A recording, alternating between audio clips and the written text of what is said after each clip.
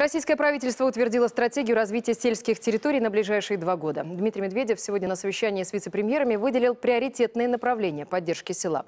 Документ рассчитан на 15 лет и включает в себя развитие торговли, ремесленного дела и туризма, содействие развитию предпринимательства. Премьер также особо отметил первостепенные задачи.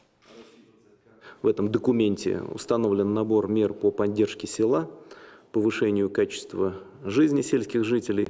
Среди наиболее важных – улучшение транспортной инфраструктуры, э, значит, соответственно, образования, доступности образования и медицинского обслуживания. Это долгосрочный э, документ, который предусматривает, что численность сельского населения должна стабилизироваться на уровне примерно 35 миллионов человек. Соотношение заработной платы на селе к среднему значению в экономике страны должно возрасти с текущих примерно 60% до 80% процентов. Это напрямую будет зависеть от успешности развития агропромышленного комплекса. Новый документ предусматривает также, что на работу в сельскую местность нужно активнее привлекать молодых специалистов.